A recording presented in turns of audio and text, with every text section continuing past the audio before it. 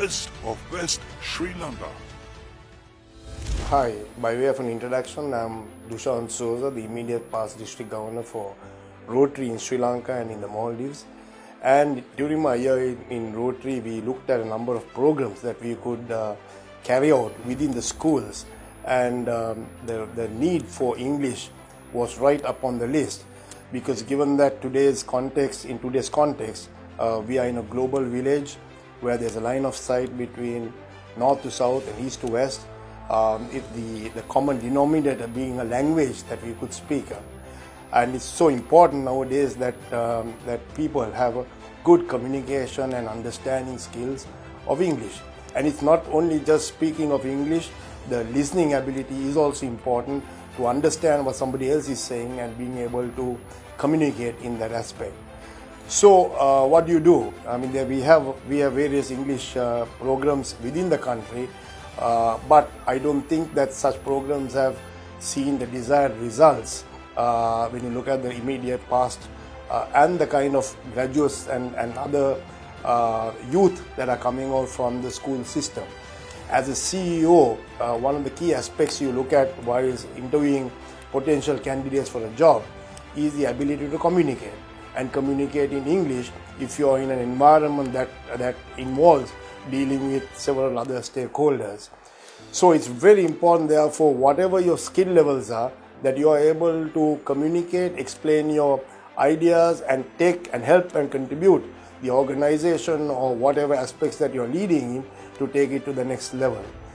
So we looked at a number of things that we could do, and we found that um, uh, the ability to spell or teach someone to spell uh, proper English words is probably the, the, the, fundamental point in the language of English. Because if you can spell the English words properly, then I believe your, your ability to pick up the language and speak would be also enhanced uh, with that uh, with, with the spelling of each word. So improving English, you know, there is no um, uh, magic formula. It has to either come from uh, your, your pedigree, which means that people at home communicate in English.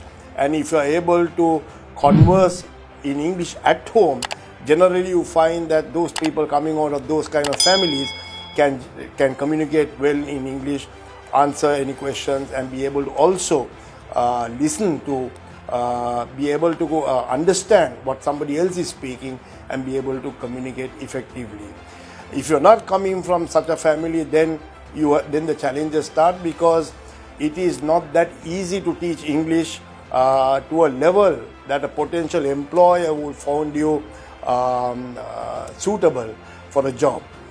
Uh, in that aspect, I believe that within the schools, uh, you need to have more focus in, in the spelling of English words because if you know how to spell a word, then you can pronounce the words and it will give you a wider vocabulary to communicate.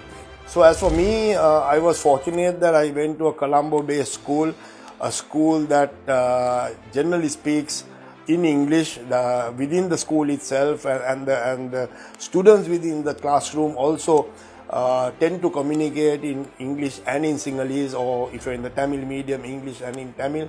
So I was fortunate enough to go to a school that had a very high standard of English. Uh, I was fortunate enough to be born into a family that uh, spoke in English at home most times, and probably my I could say that my English standard was quite high because when I came to my advanced level, I switched over from the Sri Lankan advanced level to the London advanced level. So, which meant that having studied all through my life in Sinhalese, right up to grade 12, within six months I converted to do uh, the advanced level in English. So, which meant that if you didn't have that uh, knowledge of English within that six month period, it would have been extremely difficult to, uh, you know, study all the other all the subjects or convert your knowledge from the Sinhala based education to the English based education, and then also read and understand the questions that are coming in an exam and respond to those questions in English. So I believe I was able to do that quite successfully, and that was because of my own inherent level of English uh, that I had because of my of the reasons I gave. So because of my knowledge of English, uh, I was able to get through those London exams, and I did go to UK subsequently to the university. And therein, I became a very integral part of the university's culture because of the sports that I used to play. I used to play a lot of cricket, and I captained the university cricket team. So, captaining the university cricket team with about 100 other students under you meant that you need to constantly communicate uh, with the students, as not only on the sporting field, but also uh, in, in your own lectures and uh, and in the hall of residence that I was living in. Uh, you know, you need to be part of the whole system, and that knowledge of English helped me to communicate on the at the same level as any other British student um, uh, whom I encountered. So the com- most companies, especially in the private sector, tend to communicate in English. All the correspondence is in English. The customer service side of things are in English.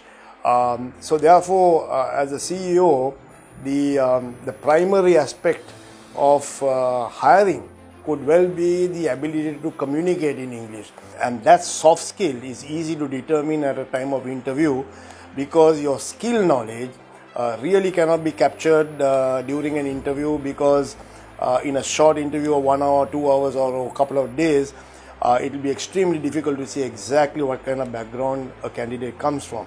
The easy aspect is the ability to uh, to communicate and, and communicate what you know. And most often than not in the in the private sector, most interviews are carried out in English, and it's it's extremely important to be able to uh, converse in English uh, in order to be uh, able to be evaluated for a potential job. So if you're learning English, once you learn the basics of English language, which is the alphabet and the words that cover within that alphabet, then I would suggest that you start reading uh, some um, uh, fairy tales that will be of interest to you, to you in the different uh, areas, and then start learning English through reading the book and understanding what that book says. If not, take it up with the teachers or elderly people to understand what exactly that uh, story means, and then you can start picking up little by little uh, the knowledge of English that will help you to first read and enjoy the many thousands of books that are written in English, and then be able to slowly communicate uh, with other other fellow students and teachers and everybody else. Uh, I would also recommend that you start writing small essays in English about your country, about the place you're living in, about your parents, about the subject that you like, about somebody whom you admire, and so on, and, and continue to write paragraphs uh, on these different subjects and get somebody else to look at it and correct it, the English spelling as well as the grammar that you're using to uh, put those words together. And then there is no shortcut to learning English like any other language. You got to go step by step and uh, pick up the knowledge as you go on in your in your life. So in English there are two things. One is the ability to write. When you write, you write in a different type of a language from speaking.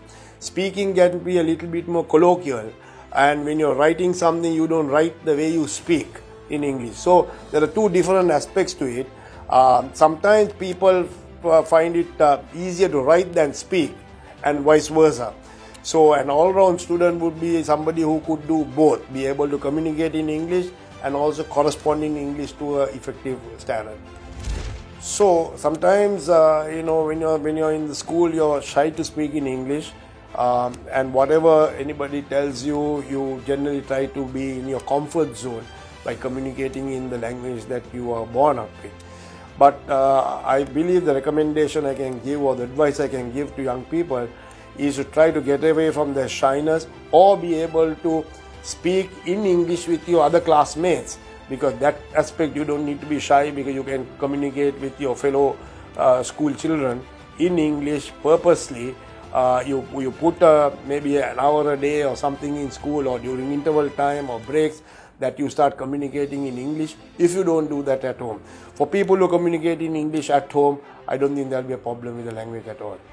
There is a thought process that when you go to an international school, you you speak better English than going to uh, others going to another school.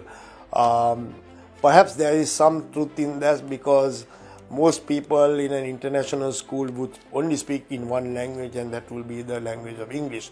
Whereas in another school you speak multiple languages and therefore the focus and the thrust in the language of English might be little a little less. However, having said that, um, the schools in the cities in particular have very high standards of English and you would be able to compete effectively on even scale with international schools. I'm aware that uh, in some of these high-end English theatre or plays within the schools, most uh, non-international schools have come out to win the Shakespeare contest and various other uh, various other uh, theatre uh, competitions or play or drama competitions in the language of English. Don't forget to subscribe. Education at your fingertip. Learn TV education platform